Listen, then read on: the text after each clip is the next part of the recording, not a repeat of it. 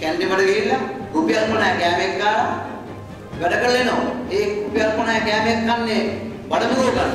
ඒක තුළින් මේ ශෛල වලට මොළයට ක්‍රියාකාරීත්වය දැනුම වර්ධනයට ඒ ශක්තියක් වෙනවද කියලා දන්නේ රාජ්‍ය පරිපාලන අමාත්‍යාංශය අර කෑමක දැක්කොත් හිතා ගන්න පුළුවන් කොහොමද ඇයි මේවට ප්‍රතිපත්ති හදන්න බැරි? ඇයි නීති ගේන්න බැරි?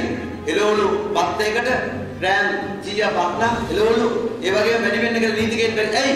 ඒ බ නැති නිසා තමයි මේ ප්‍රශ්නේ තියෙන්නේ. ඒ නිසා පාලකයන්ට අපි කියන්නේ අලිකන එළවලු ටික හෙට පොළොවට ගේන්න ප්‍රශ්න විසඳන වර්ග දවසෙන් අපි අපි ගාතන වැඩ පිළිවෙල. ඒවට සූදානම් නැහැ. අපි සූදානම් හෙට.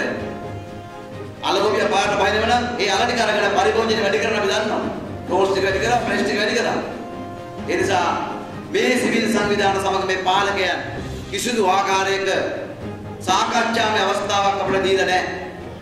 අපි උදේට කෑම කන්න, සෙල්ෆි ගන්න, උදේට කෑම කන්න ඇත්තෙක් ඒ මාසාවල් අපිට නැහැ.